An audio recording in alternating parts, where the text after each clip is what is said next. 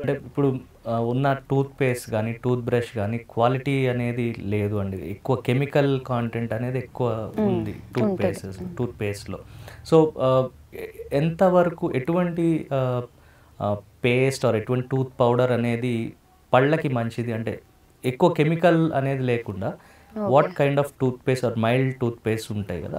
So అటువంటి వాటి వల్ల ఎటువంటి రిజల్ట్స్ అనేవి ఉంటాయి?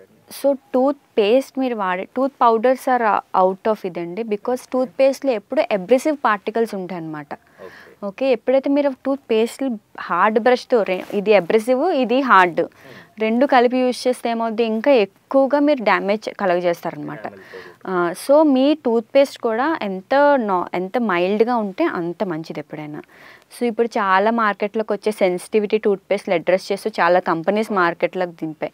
So although sensitivity tooth paste are equally better అన్నీ అలాంటివి బెటర్ మీరు తీసుకోవడం. Rather than going to brand name కాకపోయినా అంటే అబ్రెసివ్ పార్టికల్ సైజెస్ మీకు అందులో మెన్షన్ చేస్తారు. సో దాన్ని బట్టి మీరు చూస్ చేసుకోవడం it's an important thing so it మెయిన్గా టూత్ పేస్ట్ కన్నా కూడా మీ బ్రషింగ్ టెక్నిక్ ఇంపార్టెన్స్ అక్కడ. టూత్ పేస్ట్ వల్ల మీకు ఏది ఎక్స్ట్రాగా జరగదు. జస్ట్ ఏదైనా స్మెల్ ఆర్డర్ అయితే ఏదో ఉందో అది మాత్రమే పోతుంది. సో మీ బ్రషింగ్ టెక్నిక్ సరిగ్గా చేశారనుకోండి it doesn't how you brush and it is always important మీరు ఏది తిన్నా కూడా మీ నోరుని పొక్కలించుకోవడం అనేది చాలా ఇంపార్టెంట్